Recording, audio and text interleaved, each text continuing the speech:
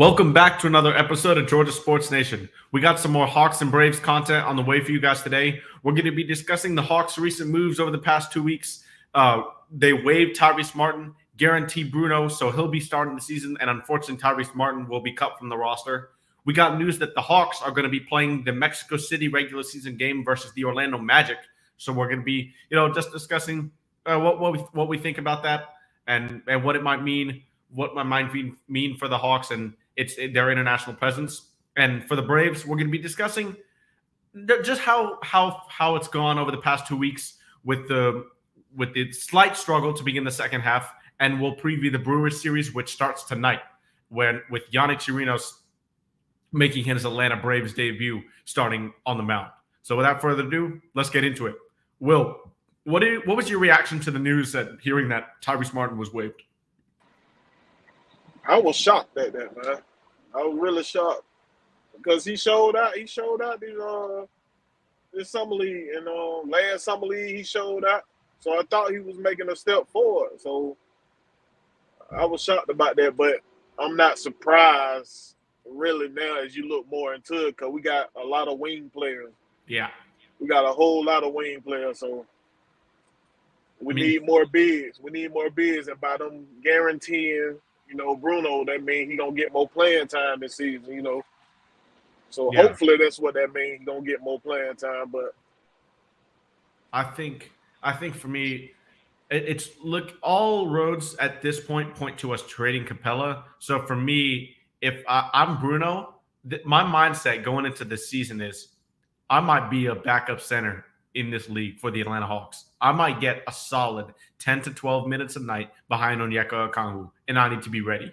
That's the mindset I'm going to have if I'm Bruno Fernando. And there is a slight chance the Hawks keep, keep Capela. Now, that is definitely not likely with uh, all the reports we've seen, especially yesterday with um, uh, two days ago with the NBA Central reporting that they're going that they're likely to trade Capela again, which we've known for the past like well a month and a half. but uh, it's Bruno. I think can really see see the floor this year, especially as a backup. And I think I think Hawks fans should look forward to that. I know when he was here, when we drafted him, it wasn't exactly the best product on the floor, but he improved in Houston. His shot blocking, he can spread the floor, he can shoot a couple threes now, and his rim running and lob threat is really great. So I think Bruno adds some uh, some depth to that to that uh, backup center position, which right now we don't have if or we wouldn't have if we didn't keep Bruno and we trade Capela. I'm gonna keep screaming to the rooftop. We do not need to trade Capela.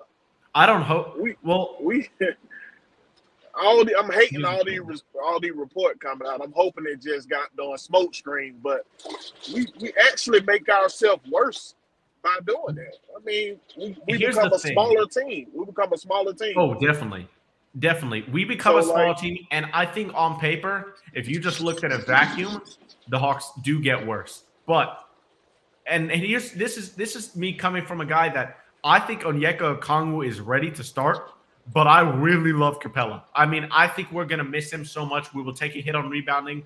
I think we will also take a hit on fa- just fast break defense in general because well, I'm, Capela's I'm one of those guys. You wrong. I'm hoping yeah. you wrong. I'm hoping they ain't getting rid of him because that that would not be a smart move. I'm telling you, just try to save some money. That ain't Capela ain't costing you that much damn money. I mean, just I eh, mean, not upwards of twenty, upwards of twenty million. It is pretty expensive, but his, his contract ain't long. He don't, he don't got much longer on his contract. No, two two years, I believe. Oh no, this, I'm saying. So he's really not costing you a, a boatload of money. And but that, for me, to make your team, to make your team worse, just to save a little money, that makes no sense to me when you say you want a championship, but you diminish diminish the talent you have on your team. The reason the reason well, I say ahead. this, yeah, I'm, I'm saying the reason I say this is because well, first of all, Clint Capela's let's just call it spade a spade. He's been a valuable man with the Hawks. I mean, if you if you don't think he should have gotten that extension, I, I think I don't, I don't know what you're talking about. Like he was in the 2021 season, Clint Capela was top five defensive player of the year candidate. I've had multiple 2020 games. I mean, he was a monster in 2021. Now we haven't seen that same Capela, and he, but he is still he is still really valuable. The thing is, though, Clint Capela has a lot of good trade value. A lot of teams could use him. Dallas is definitely among that conversation. The Warriors are in that conversation. There's been reports yeah. that the Clippers are also in that conversation if they look to trade Ivica Zubac, which I don't understand why, but they've been linked to Capela, which is weird to me. But hey, uh, I don't know the Clippers. So they're right. A lot of teams that, can use them. A lot of teams like us, because we yeah. seen we seen what happened when he was injured last, last uh, when he was going down injured. We yeah. struggled so badly of getting rebounds, and that was with your boy Double O in the game. So that, that is a terrible disaster waiting to happen if we do this. It's it's not making I, making much sense to me business wise if they. I mean, okay, it makes sense to me business wise. Yeah, business as far as as far as competition wise, it makes no sense to me. I agree. I agree. We we take a step back. But the reason why, if I'm putting myself in Landry Fields and a little bit of Tony Ressler's shoes as well, it's it's that okay. Clint Capela has a lot of trade value on the market. We know teams want him, so we have a guy on Onyeka Okongwu who is, I think, he's completely ready to start. He's a top six pick, but if if we trade Clint Capela now instead of waiting until the deadline of his last contract deal or even when a year goes by, now is when he's at his peak value. He's gonna he's he might start to decline soon. He's getting up there. He's not old by any means, but he's getting up there in age. And I think now is the best time to trade him. That's what I would say. That's what I would think is going through Landry Fields' head right now because you can get the most value for him and Uh, you are confident that Onyeka Okongwu can do a great job as a starting center, which I am. I'll miss Capela. I gotta, I worry about what kind of message this saying. You got a player that wants to stay in Atlanta. This the second player that want. We know John Collins wanted to stay in Atlanta, but he wasn't productive. We know Clint Capela wants to stay in Atlanta. He has said it several times. He's productive on the floor. So this just sends. I think it sends the wrong message to me. Like we don't care what you done for us on the floor or whatnot, but if you got trade value out there, we're gonna get rid of you. It, it, it, it's sending the wrong vibe. Now I agree with you that Double O is ready to start, mm-hmm. but I don't believe he's ready to start at the five full time. I think he's ready to go at that four, like I've been telling you. He I, need to go at that four. His body size screen four, four, four. Cause five, he's gonna get he gonna get pushed out the hole. We got a lot of big we got a lot of big teams down here in the east. Well, we've got okay. let's let's think about it. Cavalier, remember? Let's think about it. So we've got you obviously got the Embiids of the world. You've got Jarrett Allen, the Cavs with Evan Mobley, and then you have, uh, I mean, if you want the Giannis and Brook Lopez. But other than that, who who is has a dominant big that we're like that that that we'd be really scared of? Hey, the Heat been giving us trouble. but the, Heat, the Heat give trouble. us trouble with Bam Adebayo, who's the same height as Onyeka Okongwu. What about Boston Celtics? Even with old Al Horford giving giving us trouble. That's so because like, well, that's like, because Clint Capela doesn't like to go up the perimeter. If if Onyeka, I will I will say this about that Celtic series. I thought Onyeka should have played more. I think Clint Clint Clint's a great player, but I think that's a really bad matchup for him. I wish we would have seen Onyeka a little bit more. I, I think we just should have went to more zone. So yeah, Clint but you can't go against the, you can't go to zone against the Boston Celtics because they have such great three point shooters. You can't do that. I, I live. I live with. I live with Al Horford busting knocking down the three. I live with him knocking the three down. I can live with that. You don't want the other. You don't want. You don't want Tatum and Brown to get hot. And once they start to get hot, they, they get hot from going inside out. You feel what I'm saying? They like to drive, then take shot. You know what I'm saying? So they get hot from driving.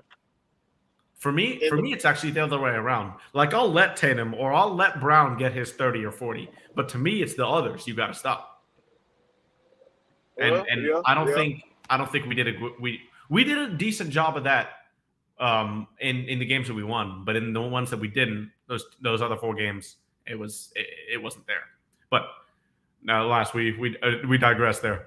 But if we like you said, you said we have a lot of wing depth, right? And especially at the two, Dejounte Murray's going to start. We know that. Then we've got Bogey. We've also got AJ Griffin. Now AJ has been linked some t- uh, to some in, in, the Pascal Siakam potential trade, which we're still hearing rumors about. Um, but Yeah, Tyrese Martin, even if he did make the roster, I think he would be back in the G League again this year. And the only reason I say that is because even if we had one shooting guard that was injured, say say Bogey goes down with some knee issues, we would have AJ to back him up, and then we have Dejounte to start. I don't think we're cutting AJ's minutes to give minutes to, to Tyrese Martin. I think that would be absurd. What what is your opinion on this? Then yeah, you got uh Saddiq Bey that can play the three. Well, yeah, Saddiq. Well, I'm not. I'm just talking about strictly playing you the talking about the two. You're talking about the two guard? Yeah, strictly two. Okay. Well, yeah. Like, would you would you have wanted to see Tyrese Martin cut into AJ Griffin's minutes this this season? Well, no. No. Okay. Yeah. I I mean that that was some, that was the topic of some conversations a couple weeks ago, but I I thought that was absurd to be honest. no, no, because like it's crazy that they both play the same position though. Like, yeah, the exact. We so deep. At, that's the only reason we so deep at that position. So it's just like he would have just been a straight bench player if he would have. He would have just been on the bench. Mm-hmm. Yeah. So I think, and I wonder if Oh, and I also I also wanted to discuss the signing of, of Wesley Matthews. Wesley Matthews, the he's now he's now 36 or 37 year old, can't remember which one, but he's 36 or 37 years old, and we know what Wesley Matthews is. He used to be a great defender. Now his legs have, you know, his age is getting his age is getting up there. His legs are a little bit slower, but he's still an elite three point shooter. But I don't see him getting much playing time because, uh, to me, AJ still plays over him. Bogey definitely plays over him, and then Dejounte's there. So I think it was to just get a good veteran shooting guard for for a young guy like AJ, maybe Saddiq Bey as well, to to kind of just mentor and be be that veteran presence at that position. What do you think? I think he was pretty much basically just brought in for competition, to ramp up the competition. You know what I'm saying? Like basically, so nobody really just get comfortable with their job. You see what I'm saying? Oh yeah, yeah. To to say, oh, this guy could play over me. I got to step it up now. Right, right. So like that's what I'm thinking is all based on competition right now. With uh, Quin Snyder, pretty much going 100 percent in his uh, system right now. We only got to see him 20 games last year. Now he get the whole off season to uh, have the players to work on what he need them to work on in his system. So I think it was just pretty much competition. Competition, yeah, okay. West the thing thing about Wesley Matthews is if he if we get an injury at the at the shooting guard position, whether that be AJ Bogey or Dejounte, he can he can still slot he can slot in there and provide some minutes at the two if AJ or Bogey ever was needed at the three. Let's say Saddiq Bey got hurt or something like that. Um, he can play minutes at the two and still be effective. We know he can splice the four. I like his three point celebration, by the way. It's, it's pretty it's pretty nice, but uh, with with with the bow and arrow. But it's but it, I think I think it's a great pickup. One, the veteran presence. Two, he's solid enough that he can play with an injury. And then three, we know he, he likes to shoot a lot of threes. He's a catch and shoot guy, and that's what Quinn Quin wants at the wings. We've seen him in Utah, you know, playing with Bojan Bogdanovic, Georges Niang, these type of guys that'll just uh, the, the, guys catch and shoot and hoist those threes. That's that the guys that Quin likes at the two and the three, and I think Wesley Matthews fits that.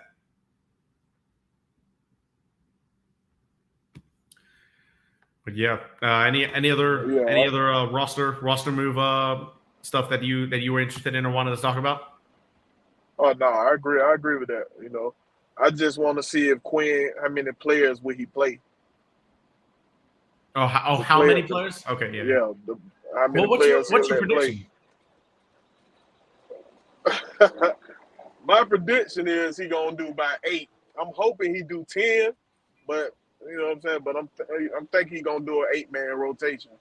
Eight eight is too thin for me. I think it will be nine. What um, what he do eight, last eight, year? Did he do eight last year? No, he did nine because you had uh, a, you, you had Onyeka coming off the bench, you had Bogey coming off the bench, you have Jalen Johnson coming off the bench, and you had Saddiq Bey coming off the bench. That's four. Okay, so that's okay. Along the yeah. starters, so that's that's nine. He had a nine man so rotation. It ain't, it he didn't have a ten man. Did have a ten man for a little bit until age. so I'm I'm saying nine. I think I think we're gonna have um, Saddiq Bey starting at the four. If the roster stays intact the way it is, and this is a small lineup, I know it is, but I think I don't think you can have Jalen Johnson, and Onyeka Okongwu, and DeAndre Hunter all starting um, uh, at in the front court with a pick and roll of Dejounte Murray and Trae Young. It's just the spacing isn't there. And same with Clint Capela. If he starts or if Onyeka starts. I think you have to include a shooter in there like Saddiq Bey to space that floor at the four or the three and give give a little bit more opportunities for Trae and DeJounte to to kind of work see, work their way in. See, that's what that's what training and preparation come in at, Mikey. When we was growing up, everybody guarded whatever position. We went position, you know, position based growing up. We we went out and guarded the three point line and everything. But now we so position based, we think we need to sit down in the paint, stay right here. No, you got it's got. That's why when if if I'm running a team, I'm looking for athleticism because I want you to be able to move.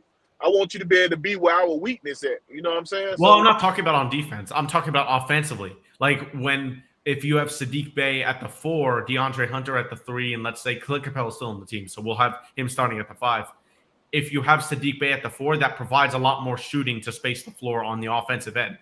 Whereas if you started Jalen Johnson, if he doesn't have that three ball, you know, boosted up from what it was last season, that's a little bit iffy of iffy of spacing, in my opinion. But I do. All, all, but yeah, that's still all in preparation. Work on it. These are basketball players. We all shot threes too. We didn't just take it to the hole. Come on now it's, it's all with preparation. What you what you um comfortable with at the time. So if you're not comfortable with shooting three, then you go on your off season. You start working on shooting threes, so you can get comfortable with doing it. You know what I mean? So it's basically building that muscle membrane up. If you build that muscle membrane up to uh to build that confidence of you shooting a three, then you'll you'll be more likely to shoot that three without hesitation. You see what I'm saying? So that's all it is. It's all it's all in preparation. Like like Kobe used to say, hey, take no days off. Great, you know what I'm saying? You, you really yeah. take no days off. You work on your craft. You perfect your craft when you're in this when you're a professional league. So with Jalen Johnson, so if you had Jalen Johnson starting at the four, would you have Jalen Johnson starting at the four currently? We know there's a gap at the at the four since John Collins was traded to the. You Jets. already know who I have starting. Oh no, you have a Kongwu. You have a Kongwu starting yeah, at the four. Yeah, yeah, yeah, yeah. I have starting at the four. Yeah, you got a. a I have Jalen Johnson. I, I, have Jalen Johnson being the backup to Okongwu. Okay, I. I mean, well, I already voiced my opinion. I don't think that's ever going to happen. I don't think we'll see Okongwu at the four uh, this year, actually. But I mean, who knows? Maybe. But for me, right. for me, I think it's Saddiq Bey right now. Jalen Johnson will get. The- I like him better at the three. I like Saddiq better at the three. Here's the here's because the at the four he's small. He's small on defense at the four. He's small. He is small on defense at the four. Yeah, definitely. I completely agree with you. But at the three, he's also really slow. He can't keep up with the wing, the perimeter wings and guards. Hey, guess what they go back to, Mikey? Wait, you're talking about like defending your position. They go back to preparation, Mikey. You better go but train with the track boy but I don't think you can ball. turn. You, I, I agree. I see what you're saying. You like teach, off, you can teach season, speed now. Yeah, you can teach speed. The, you can't teach heart. You can't teach size, but you can teach speed. The they off teach speed every where, day. Yeah, the off season is where you know the players will pick up pick up some skills or refine some skills that they already have. But I just right. don't think you can have Saddiq Bey become this guy who can keep up with quick guards and wings in one offseason. It may take one, uh, it may take like a couple. I think, uh, especially especially if we're trying to become that next level top um, top seed, top tier seed and uh, playoff contender. Especially, you know, we wanted to get home field advantage this this year. Unfortunately, and, and multiple Hawks said that at the beginning of the season. Unfortunately, it didn't happen. But for me, I think. So, yeah, so Mike, let me ask you a question. Mm-hmm.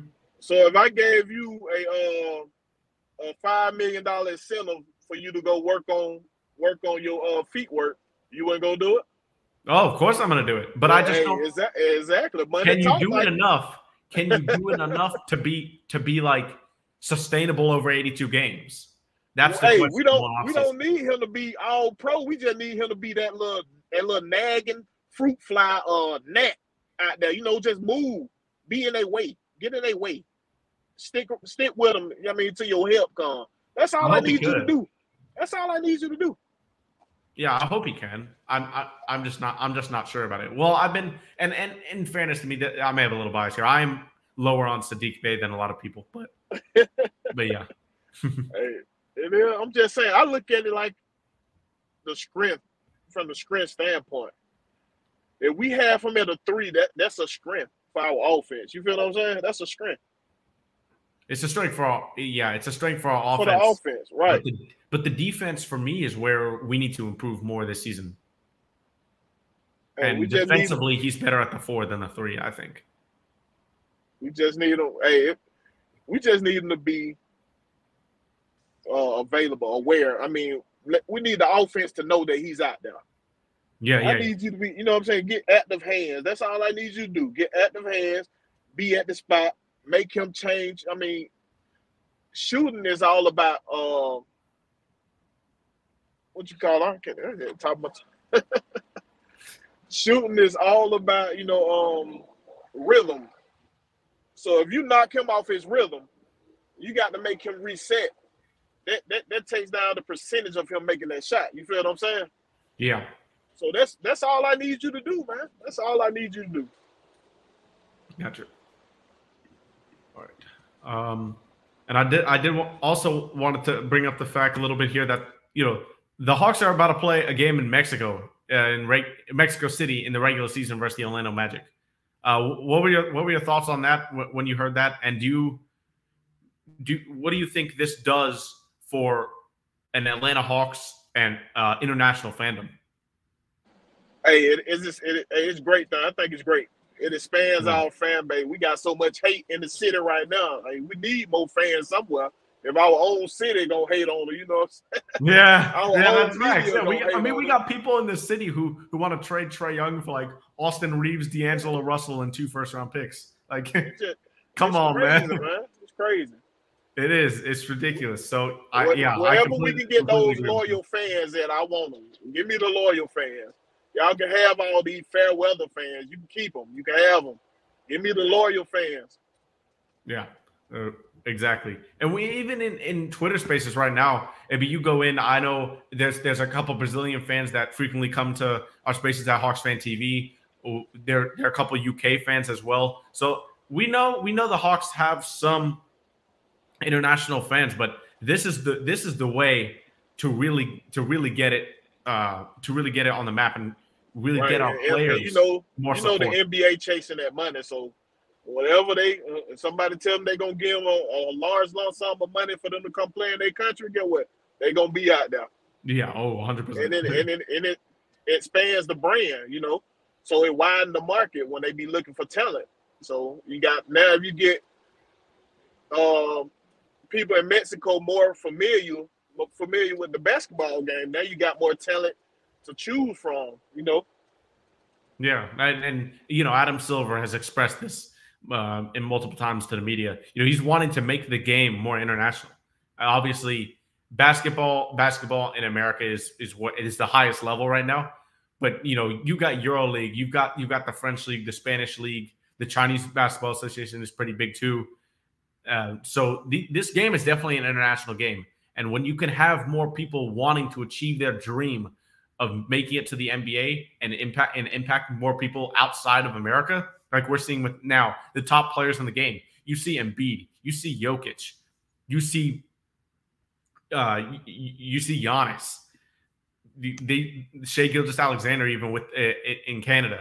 You you got these guys, these foreign players who are at the top of the league at the moment. Luka Doncic, I forgot, I can't believe I forgot him, but yeah, you've got these guys who are at the top of the league and everybody wants to emulate them. Now, the biggest way to do that is to expand your international presence, and I think this is a good move by Adam Adam Silver. You get to bring a bot, you get to bring a box office superstar to Mexico City, like Trae Young, who's definitely going to want to put on a good performance there, and Orlando's going to know that as well. Paolo Banchero is going to want to as well. So it's it's it, I think it's going to be a fun game, and it's, and it's good and it's going to be an interesting atmosphere. I'm I'm interested to see what it, some international fans how it's like because you know we've been to some NBA arenas. Obviously, I've been to some Hawks games. Like we know what the, the vibes in, that, uh, in State Farm Arena are like when the Hawks are playing well. But what is hey, it going to be in an objective at an objective uh, location like Mexico City? Even though you know Orlando is closer to Mexico City than Atlanta. Well, then again, they're gonna be uh like that in season tournament gonna be good for the league too. Gonna add yeah. a little more juice, a little more juice to the league. But uh, as far as it being in, in Mexico, come on, how much money they gonna make for it to be in Mexico? It's gonna be packed. It's gonna be sold out. Oh, you yeah, know what 100%. it's gonna be. They don't have basketball games like that every day in Mexico like that of this statue. It's gonna be sold out. Yeah, and you you you brought up the in season tournament.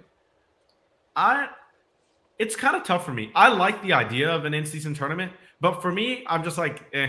I mean, it's there. Player for the players, I think it's going to motivate them to stay healthier though, which will be really good so they can play more games because there's a I think it was fifty thousand dollars extra if you do win um, per player on the team if you do win that in-season tournament. So they're going to have some motivation to do that. But as far as the seating and seatings and groupings and how it's done, I'm I don't necessarily hate it, but I'm not in love with it either. That's that's kind of my take on it. Well, well, you know, this a test drive. They'll print, they'll tinker with it and get it get it better. You know what I mean? So the oh, the thing that killed the NBA is this in-game management stuff. They letting these players sit down. Like I like the way how Michael Jordan them used to think. Like I'm coming out every night. I'm gonna play because somebody might might could have bought uh spot they last they last dime to come see me play, but I'm sitting on the bench. I'm coming out. I'm giving all my all if I'm able to play. He played with a flute. This man played with a flute. Come on, man. Like all this game management stuff, you can you can game management a player by with him playing. You can sit him down, sit him down a couple minutes, but not sit him down the whole game. Yeah, I see what. Yeah, so I, I, I, see really, I really don't like that. I really don't like that. All right. Any any other things you want to mention about the Hawks before we uh, switch over to the Braves here? Oh no, we we good. I'm I'm rolling with the truck. Let's roll. All right. The Atlanta Braves. Now we know the Braves had a historic and absolutely amazing month of June historic numbers, home runs, average, OPS, all those offensive numbers across the board. Now, in the second half, the offense has struggled a bit. It's been, I would say, I wouldn't say it's been something that you should be panicking over, but we have been a little homer happy, and we really haven't scored as many runs over the past few games. What is your level of concern uh, with the offense right now, Will? You already know I'm concerned, Mikey. We talked about this before they went to the All Star break. Me, you, and Ant had the same conversation. Had the same conversation, man. Now they oh, coming oh, out trying to swing for the right. Now they coming out. We still suck in runners and scoring position. We really need to get that together before we start the postseason, or it's gonna hurt us.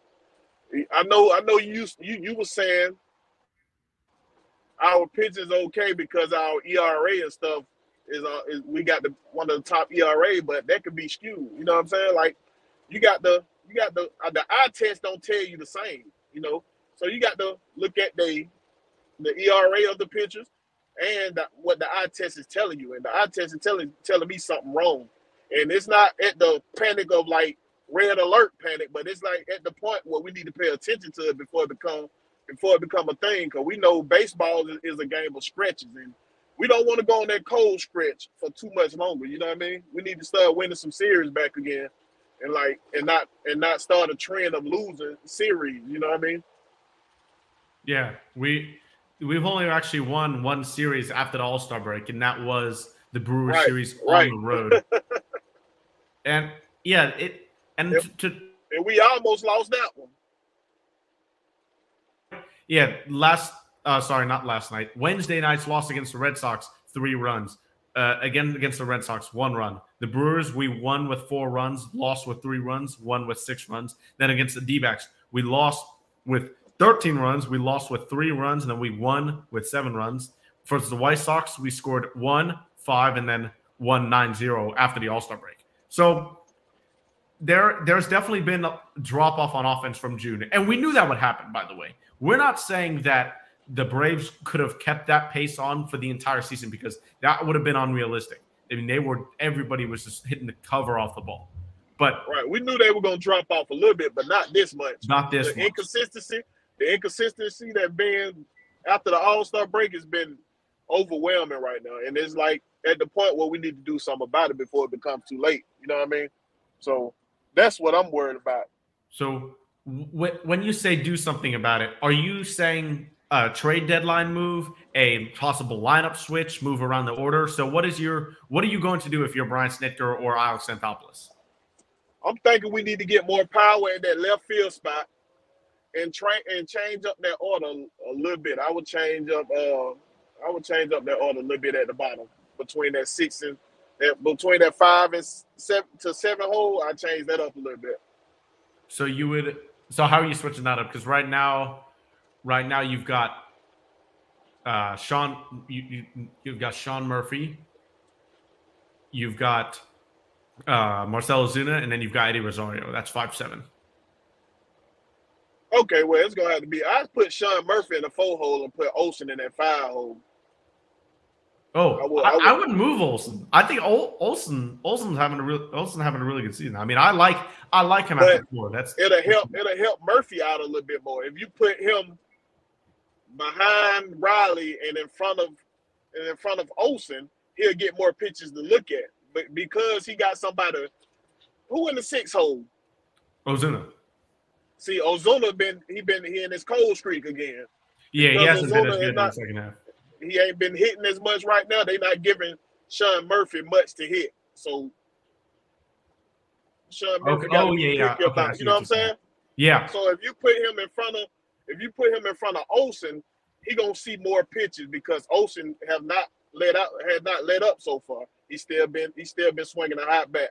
So that'll yeah. help that'll help that out. And, and if Ozzy if Ozzy be a little bit more patient at the plate, it'll help Acuna do his thing at the top. Hopefully, hopefully Oz, you know uh, that homer that homer last night for Ozzy and and in, in Boston will get him going because he had been really struggling. Actually, it had been Ozzy, Murphy, Ozuna, Eddie, and Orlando Arcia. All of them have been struggling at the same time since the All Star break, really. So when you have five five out of your nine guys struggling, that's that's what happens. You're not just you're just not going to score as many runs and that's what we've seen, really. Exactly, and that's what I'm saying. I'm about ready to go get our boy back from goddamn Boston right now. I'm yeah, about ready to get him and bring him back right now. There was that report. There was that report that the Braves were interested in bringing back Adam Duvall, and Adam Duvall hit a homer against us in Boston. I mean, long he stay healthy, he's that guy. Yeah, that's I the agree. only problem. If he don't, if he get hurt, and then he's out. But if he stays healthy, he's never let at that plate. So I'm, yeah. I'm willing. I'm willing to go get that guy right now. And I'm pretty. I'm pretty sure you won't have to spend that much for him, and put Eric Eddie back in his reserve role, back in his reserve role because like too many games on his belt, he, he don't he don't do so well. He don't That's do so high. That's the thing with Eddie Rosario. He's always been this streaky hitter. He was never going to be. He's. I don't think he's going to be as bad as he is right now for a longer period of time. But he was never going to be as good as he was in the NLCS in the playoffs in the the year that we won the World Series. It just wasn't going to happen. And it, this has been Eddie's Eddie's normal career. He's just a streaky hitter. You know, when he's on fire, he can carry your team. But when he's going like he is now, it's it's kind of rough to watch, and especially because uh, and it's affecting his defense too. Defensively, Eddie has not been been the best to say the least over the past few weeks. I know he really had a rough series uh, against the Diamondbacks. Uh, sorry, White Sox. So right. it was. But that's that's the kind of coaching style, you know, Snitker plays where he, he's a laid back coach. He's willing to sit back and let it come. I mean, feel like it's all gonna come together. I'm more of a hands-on type. You know what I mean? I want to. Oh, did we did we lose Will? I think, but but yeah, the Bra- Braves. we we we've discussed the offense. Now, in terms of the pitching side of things, it, oh well, there we go. Oh, he's back. Right, well, oh man, screen yard, screen yard, they kicked me out. I said, uh, we know, we know this the type of style like what Snitker like the coach. He's more of a laid back, patient coach. I mean, like to believe everything gonna come back around, just giving chance to, to work itself out.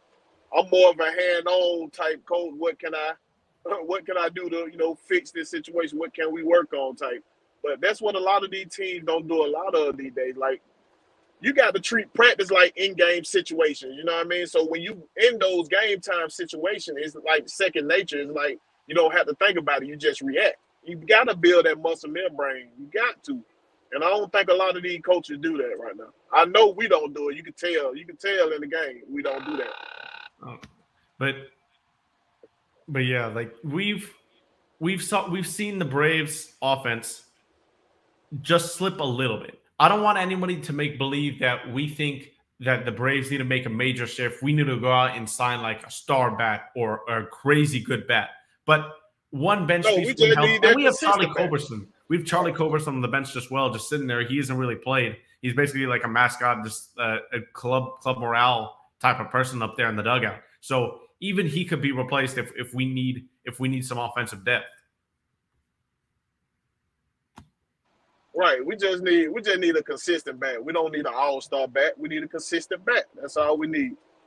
Yeah. That's all we need. Now we did enough in the first half to build enough cushion to not be so panicked right now. But hey, we need to work on it before that cushion start to diminish. That's what I'm saying. yeah, we are ten, right now. Right now, we are ten games above the Phillies. They they are on a currently uh, two game win streak. We are on a two game losing streak with that sweep in Boston that we just suffered. But on the pitching side of things, well, first of all, let's go let's go over the trades. We've got we've got Pierce Johnson from the Rockies who made his Braves debut in that Boston series. What did you think which of him? Was, I which was him. a mistake. That was a mistake. I felt they should have let Snick uh, Strider finish that in and out. I I think you trust your ace to get out that inning. You trust him to get out that inning.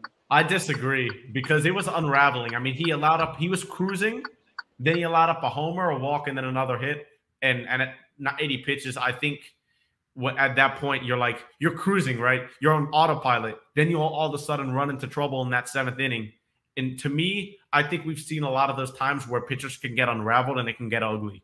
And I was fine with Snitker's pull decision to pull him, but I like I like Pierce Johnson of what I see what I saw from him. The stuff, the slider was really tight. I really liked his slider. But there's there's definitely there's definitely something to to be said for the importance of defense. And when you see when you saw Ozzy didn't make that play at second, that could have been a potential inning-ending double play. Justin Turner was able to extend uh, to take the lead with Boston off uh, with the double off the Green Monster, and then you had Adam Duvall homering to the opposite field in the eighth inning to really seal the door, and then Kenley Jansen slamming that door shut in the ninth inning with the save. So you yeah we gave we gave that game away. So you see you you see the you see the importance of defense right there with Ozzy not being able to make that play at second base. It was a soft. It was only hit 78 miles per hour, but it was a short hop, and normally I'd think Ozzy makes that play. He, I'm sure he was kicking himself for it. It wasn't that, a routine play by any means. That's another thing too, Mike. We've been a little shaky on defense lately. Yeah, I, I will. I will We've been a little shaky on defense, and I don't, I don't, know what's going on. We need to get our feet back up under. I don't I know hope, what they did down there that All Star break. Hey, I don't like it. I don't like it. I hope that uh, I hope we see a, a different Braves type of different type of defense tonight because yeah, like you said, the, the we've seen you know Orlando with that weird play, Orlando Arcia throwing to third base, and then Austin Riley wasn't able to catch it. That that brings back uh, from a couple games ago. You've got Ozzy's defense, You've got Eddie's defense in left field after the break hasn't been good. Uh, well, Sean Murphy's defense has been excellent. Same with Ronald Acuna and Michael Harris. Those guys and Austin Riley has had a little bit of a tough time too. But Acuna, right. Murphy, and Olson, really those guys. Yeah, Olson, especially Olson with them ground ball. I'm scared every time ground ball come in. Wait. Well, uh, well, he had one error. He, he had one error, but I'm. I think Olson's defense has been phenomenal this season overall. I think Acuna, Murphy, Harris, and Olson, their defense, and Orlando Arcia's has been phenomenal overall this season. But Arcia, you know, Arcia Albies, same with Riley. Arcia Albies, uh, Eddie Rosario, those guys have been a little iffy. Uh, a little iffy to start. start hey, Olson, Olson had a couple iffy plays too. Now he had a couple on. No, he yeah he's he's had it, but overall, I think I think this season has been way better than last season defensively. He he didn't start the season well defensively last year. Now Austin Riley, he been playing Gold Glove defense over there. Even though his bat was cold for a minute, that defense been showing up. Yeah, and that's that's where you, you never want your offensive slump to impact their defense. And Austin Riley is doing the exact opposite of that. He's been he, he was tearing off tearing the cover off the ball in, up in Milwaukee when he had five straight games to homer, and he was and he was playing great defense even before that because before that he was really struggling. And and when you can still contribute on the field like that, similar to what Michael Harris was doing at the beginning of the season, it keeps your it keeps your confidence up, and then that's how you gain your bat back and and the skills to to be confident at the plate on the defense. Right. Because your team your team can deal with the bat being cold for a minute, but sloppy defense they they would not tolerate that. Yeah. So overall, what were what were your thoughts on Pierce Johnson when we saw him in Boston? Oh, I'm I think he looked I think he looked good. Besides yeah, like the fact him. that I thought like I really think Snitker you used him too early. He wanted to test his toy out real quick. You know, he, he got that brand new package in, from in the mail. You know, he wanted to test them out. But I really, I really think he should have had Scribe to stick that out because that's all. That's all the playoffs gonna be about. It's gonna be about those tough situations. It's gonna be those situations where you've been cruising for a minute and you come across this this this this ending where it seems like the batter's got your number. You're gonna have to figure out a way to get through that. You know what I'm saying? So is it like it's just like I think he should have really just kept him in there at that point of time. Okay.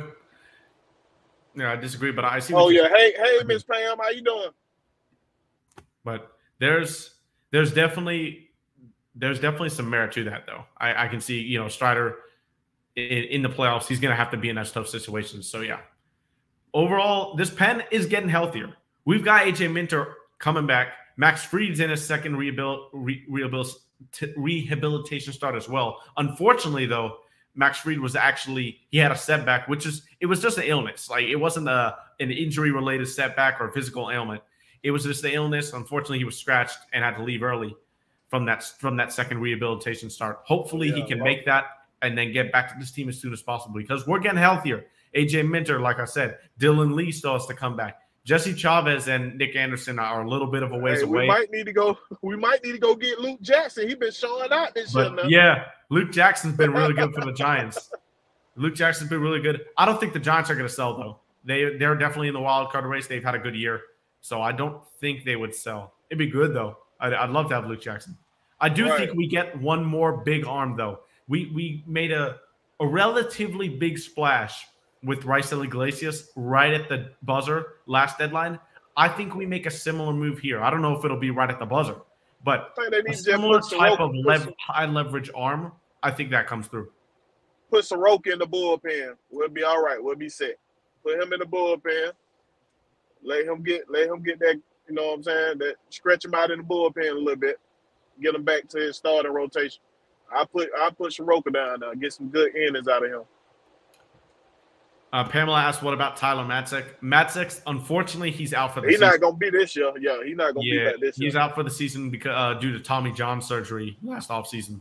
You know, when he had his struggles, when he has just had his struggles late last season and into the playoffs, into the playoffs, they they he went to he went to get examined and found out he needed Tommy John surgery, and unfortunately, yeah, he he won't be he won't be pitching this year. Definitely miss him though.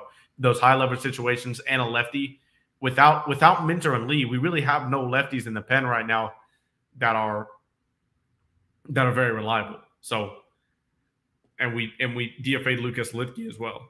So there's we don't really have much. This pen is thin. That's what I'll say.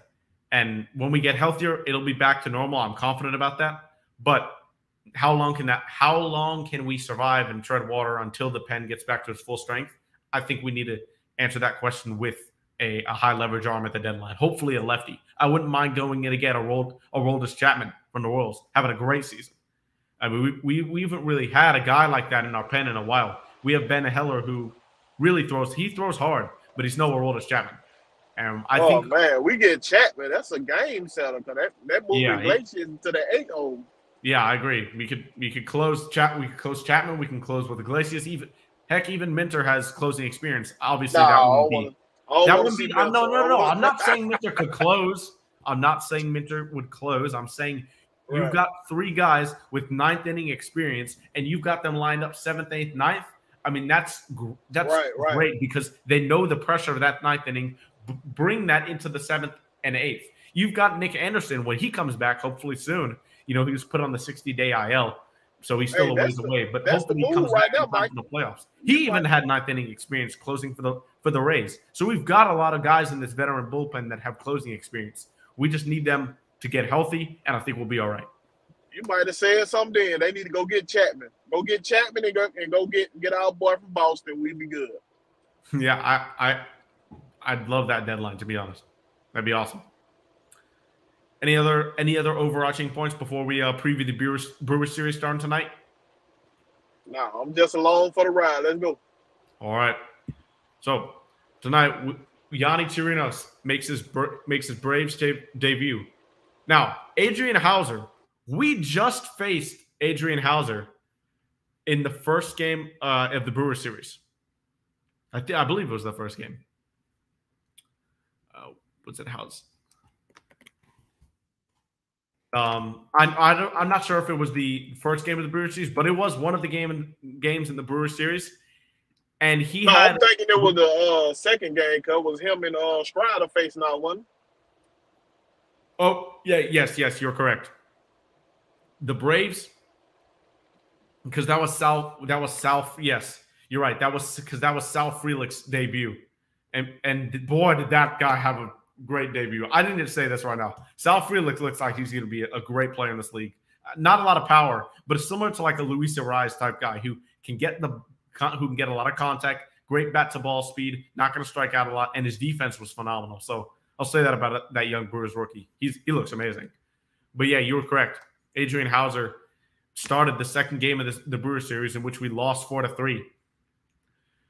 Now we yeah, which we gave out. up. We had that game too. We gave we did. We, we, did have that game, and then and then Sal Frelick happened.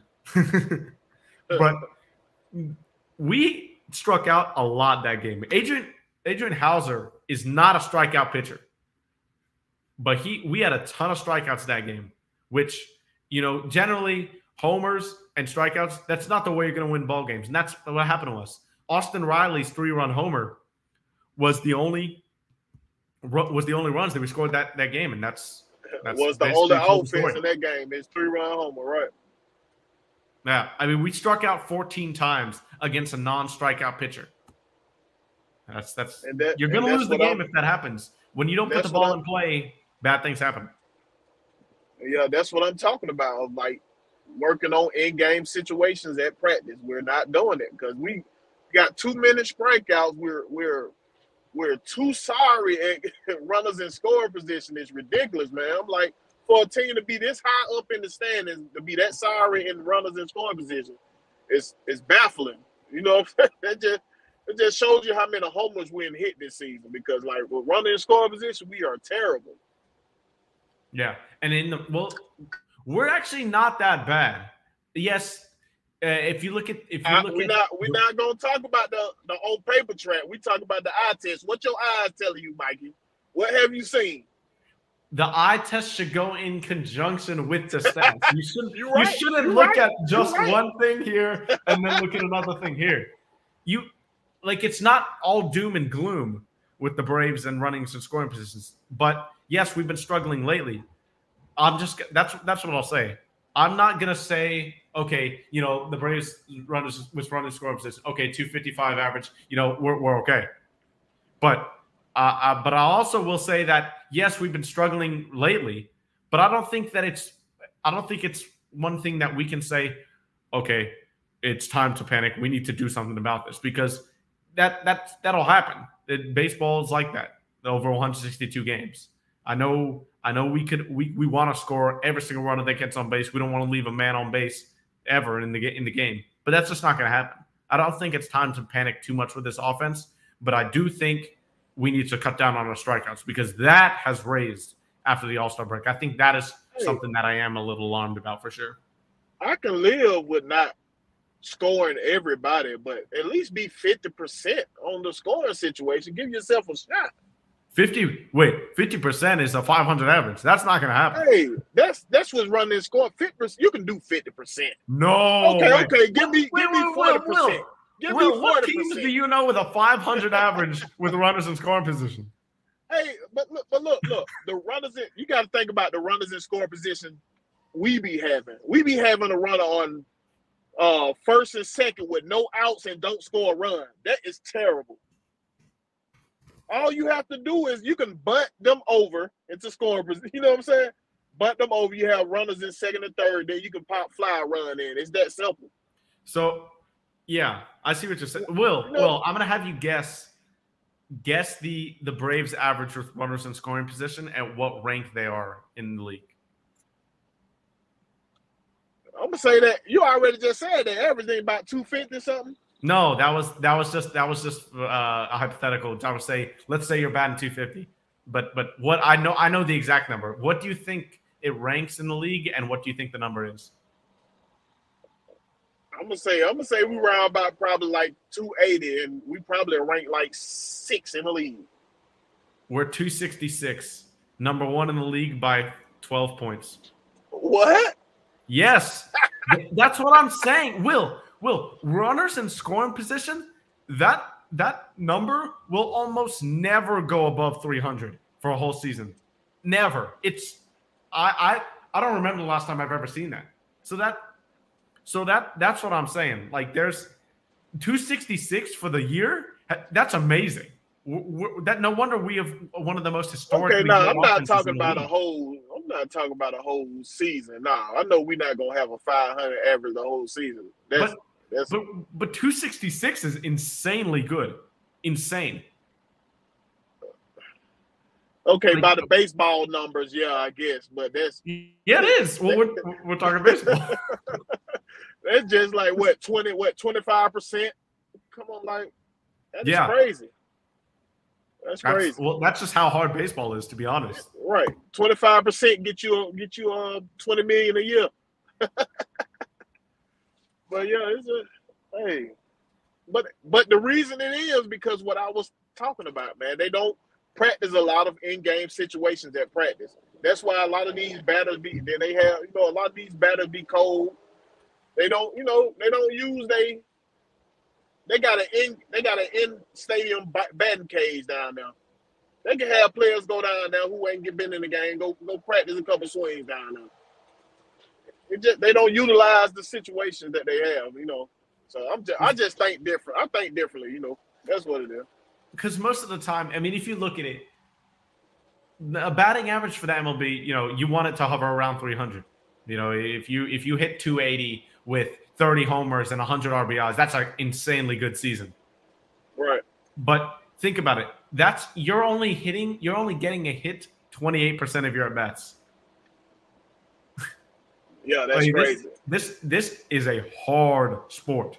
It Hitting is. You gotta in my have great opinion- in my opinion, have great hand-eye coordination. You gotta have hitting a baseball is probably the hardest skill to do in any sport. I think I think that that goes that is that is I'll, I will die on that hill. That it's not the hardest sport, but individualized skill hitting a baseball from a major league pitcher is the hardest thing to do in any in any sport to ever exist. Yeah, and because think- the ball movement. The ball movement. Exactly. So when you think about 28% and that's a great number, you got you got to think in terms of in terms of those numbers, not like 50% or 40% because I think those numbers are unrealistic. Now that could happen for a couple games, but over a Yeah, week That's all I'm talking about. I'm talking about in, in a couple of series. Give me that a couple of series. You ain't got to do the whole year. I mean, give me that a couple of series. Let me see that. Yeah, that's what we were doing in June. We were we were near 300 we were near 300 for a month in with runners in scoring position. That's what that was why we were scoring so many runs. And, and that's why, and that's why that uh that average, the yearly average is up now. That's what I say. The numbers can be skewed because we could have had a good month, like you just said. And what we what we was hitting the cover off the ball, then come down the next month and we ain't doing too much. So it's just like we need. I, I'd rather you do the consistency. Give me a consistent 280 or something like two 270. I'll take 270. Give me a consistent 270. I'll take that over you you doing giving giving me a month over three hundred or something like that. You know what I'm saying? Just give me consistency. Okay. Like like the Dodge like the Dodger team we used to face on them. Um, when you go to play Colorado Rockies at their place, facing them like that, that give me, give me that consistency where you know it's gonna be a dog fight when you play them. Gotcha. Lat the last series we faced with the Brewers, we won. Uh, obviously, it wasn't it wasn't like a landslide. It was a it was, uh, it was a crazy it was a crazy series. But with or no, sorry, with, with the Brewers, what, what, what am I saying? Um, for the for the Brewers, you had Devin, you have Devin Williams in that bullpen. You have Joel Payamps. You have um, what's his name? Pedro Figueroa, the the sinker, the sinker bowler. So these guys, these guys are have a really good pen. Now, we we won that series because we were able to score a few runs late. Can we score enough now? Can we score enough runs to not have to put as much pressure on the offense to deal with that really good Brewers bullpen, especially with Devin Williams at the end there? That is going to be the key to key to this series for me. Let's get ahead, try to get ahead early so that the Brewers can't use their ace quality arms late in the ball game in the bullpen. Right. Let's not all let's not let's not score all the runs in the first inning and be cold the rest of the game. I'm so yeah. tired of that. Come on, man. Yeah, that's that's my key to the series. You you just got to keep scoring throughout the game. Give give pitchers different looks. What about what about you as far as your uh, an individual key to the series? My key to the series is just keep the line moving. Keep the line moving. Stop swinging for the fences. We I look at the game. I be looking at so many games like that. They swinging for the fences, and it just it be having me cussing the TV out. You know, I, you know, I ain't trying to buy another TV. I'm just, just, just, just be patient up there. Be patient. Make the pitcher, make the pitcher beat you. Make him beat you. Or any, anything else uh, before we wrap it up here? Nah, we we spoke on everything, man. All right. You're just trying to stay on longer. All right. Well, with that being said, we're gonna end it there. Hope hope you guys enjoyed t- today's episode of Georgia Sports Nation. Make sure to tune in next week, six o'clock p.m. Eastern Standard Time.